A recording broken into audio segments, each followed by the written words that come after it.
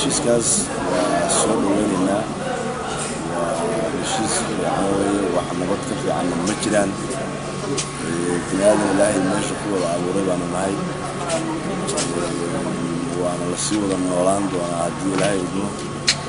marka wax walbaba heshiis wax ka fiican ama ma garanayo. Laakiin dhamaystir baa loo baahan yahay. Hadda ka hor marba asaas oo kale colaada dhacday waa heshiis qodobadan oo kale kuwo lamida laysu sheegay waana laga baaqsaday oo in la sii wado oo heshiis waara la gaaro oo suurtagal weeyey hadda waxaan ilaahay ka rajeynayaa in maaragtay halkaa laga sii ambaqaado xabad joojinta kala qaadista ciidamaduna ay noo hirgasho heshiis dadkan sidii u wada noolaan lahaayeen oo dhabta laysla gaaran in maaragtay loo daadagaan iska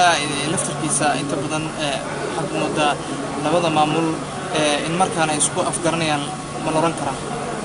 waan rajaynaynaa waan rajaynaynaa. Mar haddii madaxdii ugu sarraysay ay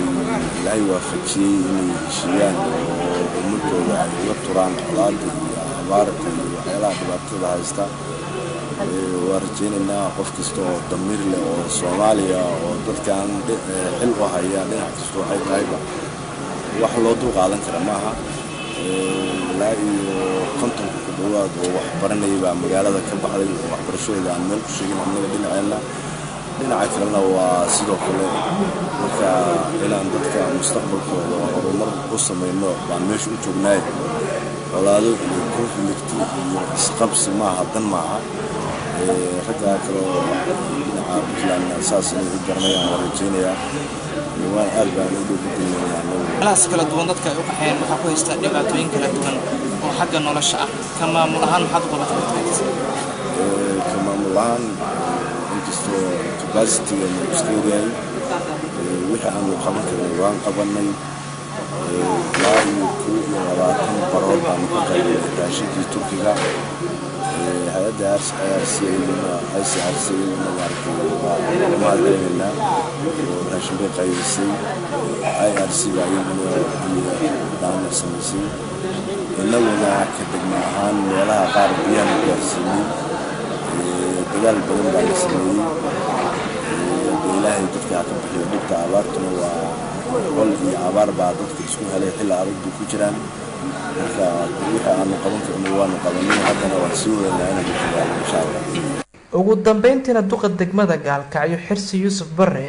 ayaa baaq ku aadan nabadda u diray dad ka wada dega gobolka mudug iyo beesha caalamka horta marka horeysa waxaan baaq u dirayaa ummadda soomaaliyeed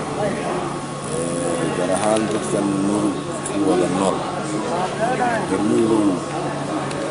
wax nabad ka fiican ma jirto.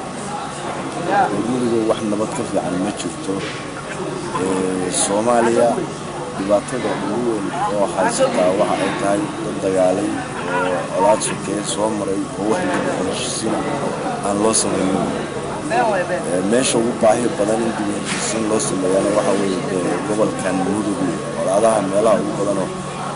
ay ka kacaan ka mid yahay gobolka mudug colaad traditional oo soo jireena baa jirtay oo xoolaha iyo daaqsinta lagu dagaalamo. Haddana waxaa ku soo kortay mid federaalka iyo degaan kala reexasho iyo mid dhaqaale baa ku soo kordhay haddii waxaas haddaan loo helin dad caqli leh iyo siyaasiyiin adwada ku jirto iyo xasilooni lagu xaliyo oo lagu lafaguro haddaan loo helin colaaddu maalin walba way taagnaanaysaa